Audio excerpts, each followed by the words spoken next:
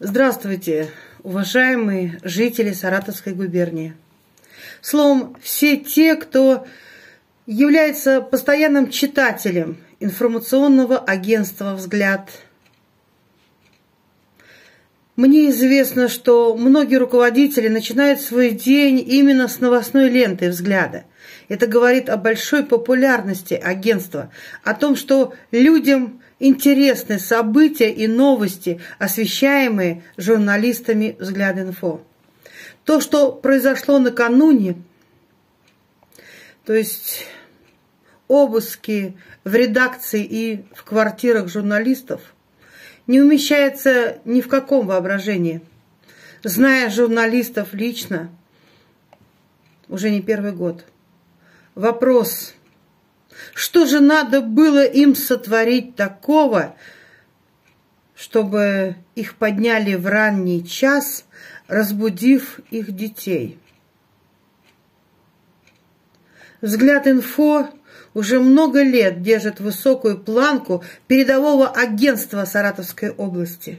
Это уже говорит о профессионализме журналистов, их востребованности у населения – вы знаете, возмущению, протесту и гневу нет предела. О таком беспрецедентном давлении на издание. И думаешь, где мы живем? В каком государстве?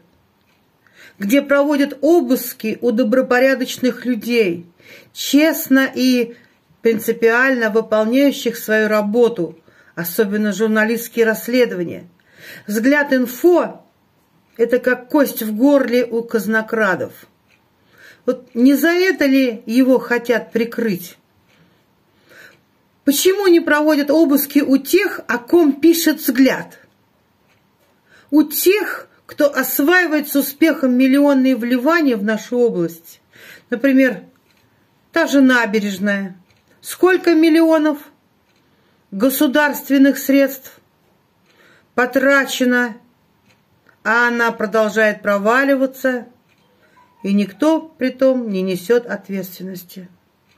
Сколько писали об этом во взгляде? И вот представьте, что казнокрады закроют взгляд, и что будет? Полнейший клондайк по отмыванию средств? Некому будет противостоять. Все будет шито-крыто. Люди рядовые даже знать ничего не будут.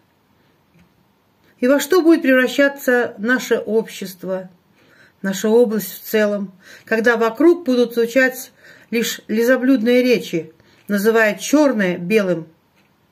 А еще такой вопрос. Если продолжится давление на взгляд, не отразится ли это на имидже нашей губернии – что могут подумать о нас в России, если будет уничтожено одно из самых востребованных, самых узнаваемых, самых читаемых населением информационное агентство? Этого допустить нельзя. Руки прочь от взгляда инфо. Напомню, вот сейчас такое время, когда все здравомыслящие люди скорбят и молятся о завершении кровопролития на Украине. Когда мы все находимся в тревоге и страхе за своих детей, за свою страну, а наделенные властью люди посчитали самое время для проведения обысков у передового издания, у журналистов, у издания «Взгляд инфо», которое поддерживается вниманием всего народа Саратовской области. Я отправлю свое обращение президенту Российской Федерации Путину Владимиру Владимировичу и спикеру Государственной Думы, нашему земляку Володину Вячеславу Викторовичу. Надеюсь, они обратят внимание на то, что творят с информационным агентством «Взгляд» в Саратове. Добавлю о себе. Я же пошлю это обращение. Я четырежды являлась депутатом местной районной власти. Народ выбирал, вопреки большому административному ресурсу, против меня. Отчаянно противостояла демонтажу и вывозу системы орошения с полей района много лет, преднамеренному банкротству хозяйств района и так далее. Я получала множество угроз, доходила до подброса наркотической травы.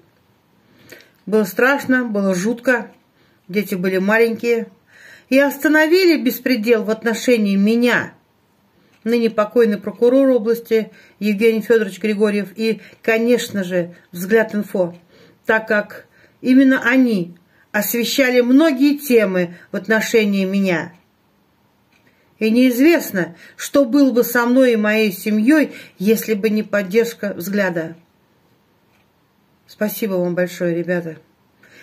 А на сегодня я желаю стойкости и мужества в преодолении большого давления на вашу профессиональную независимую работу.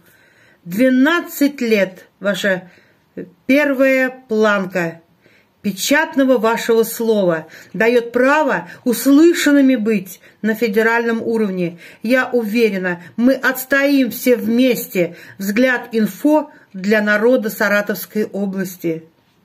Всегда с вами Клавдия Брюховецкая.